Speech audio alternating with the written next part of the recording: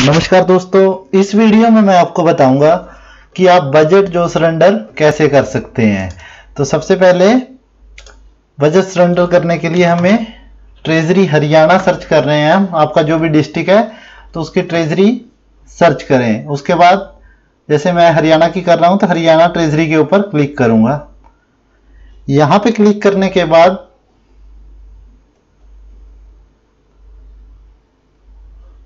आप अपने स्टेट की ट्रेजरी सेलेक्ट करें और उसके पीछे डिस्ट्रिक्ट का स्टेट का नाम लिख करके सर्च करेंगे गूगल पे तो आपकी स्टेट की जो ट्रेजरी है, उसका लिंक ओपन हो जाएगा।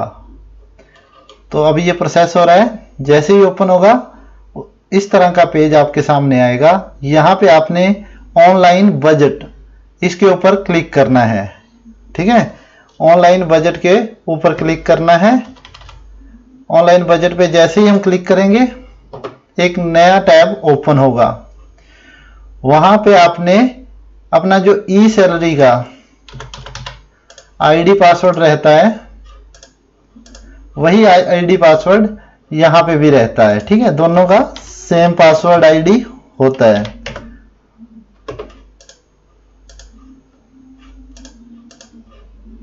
तो देखिए, ये ई सैलरी का जो आईडी पासवर्ड है, वही आईडी पासवर्ड यहाँ पे लगा करके आपने लॉगिन के ऊपर क्लिक करना है।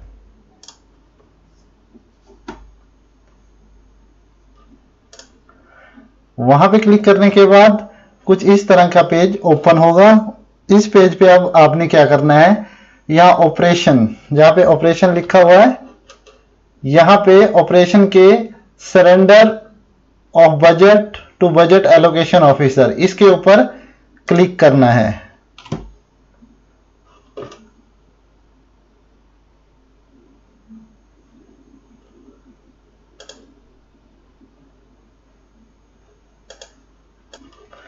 जैसे ही आप उस पर क्लिक करेंगे, आपके सामने इस तरह का जो पेज है ओपन होगा। अब आपने क्या करना है, देखिए। जिस स्कीम का आपने बजट सरेंडर करना है स्कीम सेलेक्ट करेंगे। सबसे पहले ये वाली स्कीम मैंने सेलेक्ट कर ली। उसके बाद यहाँ पे सेक्शन नंबर देंगे। यहाँ पे डेट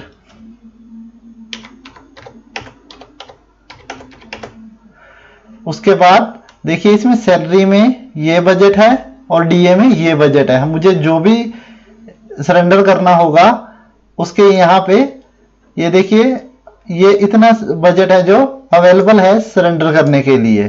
तो अभी जैसे मैं इसमें ये सरेंडर करना चाहता हूँ तो इसमें अमाउंट फिल करूँगा मैं। करने के बाद